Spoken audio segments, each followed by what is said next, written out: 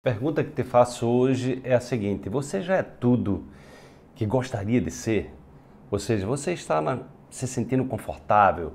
Você já alcançou, já realizou seus maiores sonhos? Você se sente frustrado, frustrada por alguma, por algo que você não realizou ainda?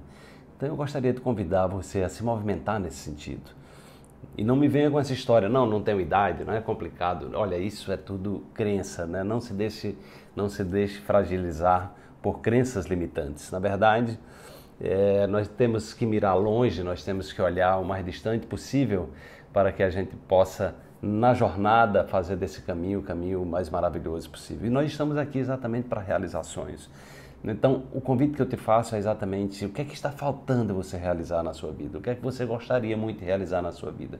Deixa aí nos comentários, se fortaleça e se veja, agradeça realizando esse sonho.